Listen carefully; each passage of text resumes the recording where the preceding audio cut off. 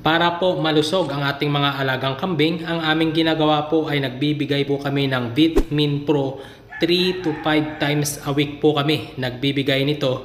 At ang dami po ng aming ibinibigay, 1 teaspoon sa 2 liters ng tubig. Dahil nga po more or less 30 na piraso po ang aming mga alagang kambing, 2 teaspoon po sa 4 liters ng tubig ang aming ibinibigay. Ayan po ang ipinapainom namin sa loob po ng limang araw sa isang linggo. Ayan po, kung mapansin po ninyo, malulusog, masisigla, at hindi bloated ang kanilang tiyan. Ayan po ang mahalaga sa lahat sa ating mga alagang kambing dahil kapag bloated po ang tiyan ng ating mga alagang kambing, ibig sabihin ito po ay may mga karamdaman na hindi po sila natutunawan sa mga kinakain nilang fiber. Pero dahil po sa Vitamin Pro, madali po silang matunawan kapag ito ay nasobrahan ng kain ng mga fiber po, lalong-lalo na po yung mga damo na medyo magulang na, mataas po ang fiber content noon kaya nahihirapan matunawan ang ating mga alagang kambing. At sa dami po ng aming alagang kambing na more or less 30 na piraso, 2 teaspoon lang po ng Vitamin Pro ang aming pinapainom, 3 to 5 times a week po dahil yan lang po ang nauubos nilang tubig